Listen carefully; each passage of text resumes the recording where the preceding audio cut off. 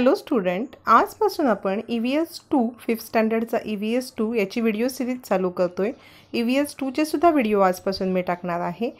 फक्त तुम्हाला ते कसे वाटतात हे मला कमेंटमध्ये नक्की कळवा आणि अजूनही चॅनलला सबस्क्राईब केलं नसेल तर सबस्क्राईब करा बेल आयकॉन दाबा आणि लाईक करा. सबस्क्राईब केल्यामुळे काय होईल तुम्हाला जेव्हा मी नवीन नवीन व्हिडिओ टाकेन तेव्हा तुम्हाला त्याचे नोटिफिकेशन येतील शोधत बसायला लागणार नाही.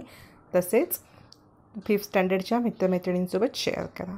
चला तर मग सुरुवात करूया third lesson life on earth म्हणजे पृथ्वीवरील सजीव किंवा पृथ्वीवरील जीवन. पहा याच्यामध्ये तीन पॉईंटमध्ये तुमचं डिवाईड केलं आहे हा लेसन फर्स्ट आहे फॉर्मेशन ऑफ द अर्थ म्हणजे पृथ्वीची उत्पत्ती.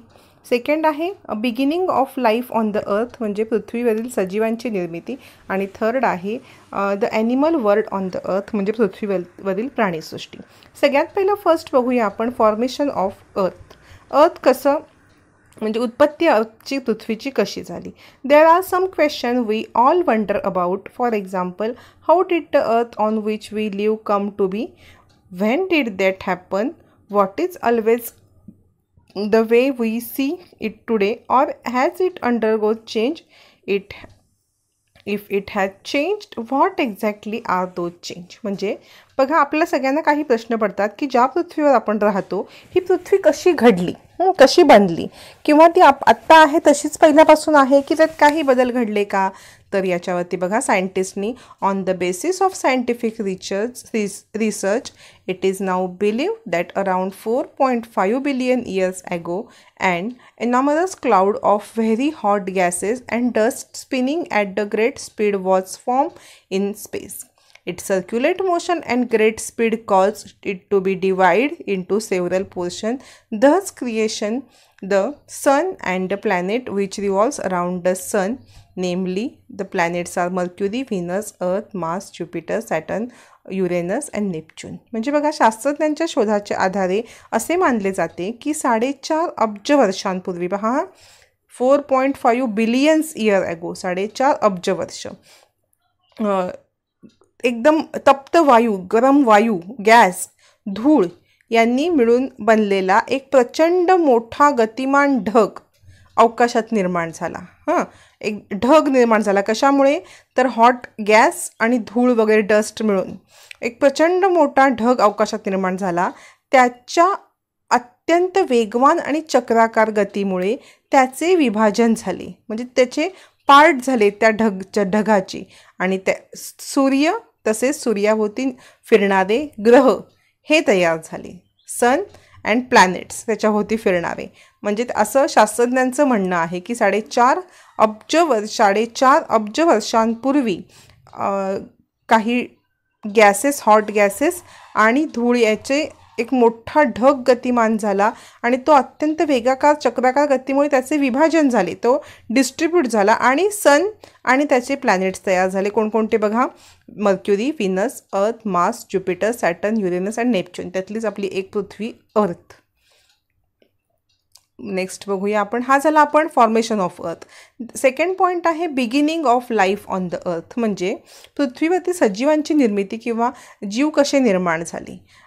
Among this planet the earth is only planet where life is known to exist म्हणजे ह्या आपण जे सगळे प्लॅनेट्स बघितले मगाशी इथे अर्थ मर्क्युरी विनस अर्थ मास ह्या सगळ्यांच्यामध्ये फक्त अर्थ म्हणजे पृथ्वी याच्यावरतीच फक्त जीवनसृष्टी आहे. बाकी कोणत्याही ग्रहावरती जीवनसृष्टी नाही आहे after the formation of earth it took about eighty crore year for it surface to cool down and water bodies to be form on it म्हणजे आता बघितलं आपण की कसे सगळे ग्रह आणि सूर्य निर्माण झाला बरोबर आहे? पण हे झाल्यावरती सुद्धा ऐंशी कोटी वर्ष लागली. कशासाठी? तर जे गरम ते होती पृथ्वी ती थंड होण्यासाठी तसेच त्याच्यावरती पृष्ठभाग त्याचा थंड होऊन त्याच्यावर जलाशय म्हणजे पाण्याचे जे रिवर किंवा पॉन्ड्स किंवा समुद्र हे जे आहेत हे फॉर्म होण्यासाठी. पुढे बघूया आपण. Uh, it is believed that various kind of unicellular organism or living things first appear in water. They are known as protozoa. Gradually, multicellular living organism, living thing developed that from this unicellular one. The protozoa are so tiny that they cannot be seen with the naked eyes. We need a microscope to see them. म्हणजे बघा असं मानलं जातं की जेव्हा पृथ्वीची निर्मी निर्मिती झाली तेव्हा त्याच्यामध्ये प्रोटोझोआ म्हणजे जे युनिसेल्युलर ऑर्गॅनिझम एकपेशीय प्राणी आहेत जे डोळ्यांना दिसत नाही ते पहिले निर्माण झाले. सगळ्यात आधी ते निर्माण झाले कुठे? पाण्यामध्ये. त्याला म्हणतात प्रोटोझोआ. आणि नंतर त्या प्रोटोझोआच्या डेव्हलप होऊन नंतर त्याच्यापासून मल्टीसेल्युलर लिव्हिंग थिंग डेव्हलप झाले from this unicellular one the protozoa are so tiny म्हणजे एकदम बारीक असतो की आपल्या डोळ्यांना तो दिसत नाही तो कशाखाली बघायला लागतो? मायक्रोस्कोप खाली. हा बघा इथे unicellular organism seen through micro organism हा एक अमिबाचा पिक्चर आहे इथे तुम्हाला दिसतंय बघा. हा मायक्रो ऑर्गॅनिझम आहे. प्रोटोझोआ म्हणजे एकदम सूक्ष्म हा माय युनिसेल्युलर आहे. एकच पेशी असते त्याला. आणि हा नुसत्या डोळ्याने तुम्हाला दिसणार नाही तुमच्या बाजूला असेल तरी तो कशाखाली बघायला लागतो? ह्या मायक्रोस्कोपखाली बघायला लागतो. समजते का? आता पुढे बघणार आहोत आपण the animal world on the earth म्हणजे पृथ्वीवरील पृथ्वीवरील प्राणीसृष्टी. The living world on the earth consist of plants and animal here we shall take in take into to account the animal world the following are some of the main characteristics of animal म्हणजे बघा पृथ्वीवरती सजीव सृष्टीमध्ये प्राणी आणि वनस्पती असतात. बरोबर आहे? लिव्हिंग थिंगमध्ये आपण बघितलं. लिव्हिंग थिंग आणि नॉन लिव्हिंग थिंग फोर्थ स्टँडर्डमध्ये बघितलेलं आहे. लिव्हिंग थिंग म्हणजे सजीव जे जिवंत आहेत. बरोबर? आणि नॉन लिव्हिंग थिंग म्हणजे जे जिवंत नाही आहेत. बरोबर? मग ह्या लिव्हिंग थिंगमध्ये पण प्राणी आणि वनस्पती. बरोबर? असे दोन पार्ट आहेत. प्राणी आणि वनस्पती. त्यापैकी प्राण्यांचा विचार आपण इथे करणार आहोत. प्राण्यांची काही वैशिष्ट्य आपण पाहणार आहोत. प्राण्यांची ह्या ह्याच्यामध्ये आपण फक्त प्राण्यांचीच वैशिष्ट्य पाहणार आहोत. बघा. ॲनिमल ब्रीथ्स म्हणजे सगळ्यात पहिलं वैशिष्ट्य आहे प्राणी श्वासोच्छ्वास करतात. इथे तुम्हाला व्हेरियस टाईप्स ऑफ ॲनिमल दिलेले आहेत बघा. वेगवेगळ्या प्रकारचे ॲनिमल टायगर बर्ड्स दिलेले आहेत. बटरफ्लाय आहे. बफेलो आहे मंकी आहे लिओपार्ड आहे बॅट आहे. बघा वेगवेगळे आहेत. ऑस्ट्रिच दिलेलं आहे वेग मंकी असे वेगवेगळे प्राणी आहेत. ऑल ॲनिमल्स आर ब्रीथ सगळ्या प्राण्यांना प्रा म्हणजे माणसापासून जे इतर प्राणी आहेत सगळ्यांना ब्रीथ म्हणजे श्वासोच्छ्वास करायला लागतो. सेकंड आहे animal move in order to get food for other purpose म्हणजे प्राणी अन्न मिळवण्यासाठी आणि इतर कारणांसाठी एका ठिकाणाहून दुसऱ्या ठिकाणी हालचाल करू शकतात. ॲनिमल म्हणजे आपण हालचाल करू शकतो की जाऊ शकतो एका ठिकाणाहून दुसऱ्या ठिकाणी. त्याचे प्राणी पण जाऊ शकतात. वनस्पती जाऊ शकतात का? नाही. हे फक्त आपण प्राण्यांची वैशिष्ट्य बघतोय.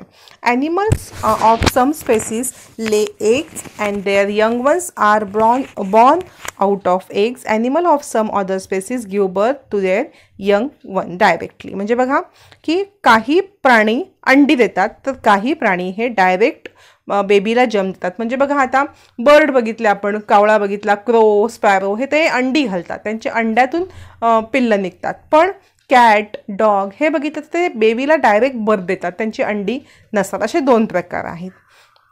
इथे विविध प्रकारचे तुम्हाला ॲनिमल दिलेले आहेत. पहा इथे आपला हा छोटासा लेसन झालेला आहे आणि तुम्हाला कसा वाटला लेसन ते सांगा आणि तसेच तुम्हाला क्वेश्चन आन्सर हवे असतील तरीसुद्धा सांगा. मी क्वे ई व्ही एस वनचे पण व्हिडिओ चॅनलवरती टाकलेले आहेत. ते सुद्धा पहा. ई व्ही एस वनमधले लेसन तसेच ई व्ही एस वनमधल्या लेसनचे क्वेश्चन आन्सरचा सुद्धा व्हिडिओ आहे चॅनलवरती तो सुद्धा पहा. प्लेलिस्ट चेक करा. ह्या व्हिडिओच्या खालीसुद्धा एक प्लेलिस्ट आहे. Fifth स्टँडर्डचं E V S two E V S one आणि मॅथ्स याचे आत्तापर्यंत झालेले सगळे व्हिडिओ चेक करा. साईडला एक त्रिकोण आहे बघा नावाच्या तो क्लिक केलात की खाली स्क्रोल करा. तीन तुम्हाला लिंक येतील. एक मॅथ्सची एक E V S one E V S two प्रत्येकावरती click केल्यावरती मॅथ्सची क्लिक केली तर आत्तापर्यंत झालेले मॅथ्सचे सगळे प्रॅक्टिस सेटचे व्हिडिओ दिसतील. तसंच ई व्ही एसवरती बघितलेत तर ई व्ही एसचे दिसतील. नक्की पहा तसेच फिफ्थ स्टँडर्डच्या मित्रमैत्रिणींसोबत शेअर करा जास्तीत जास्त.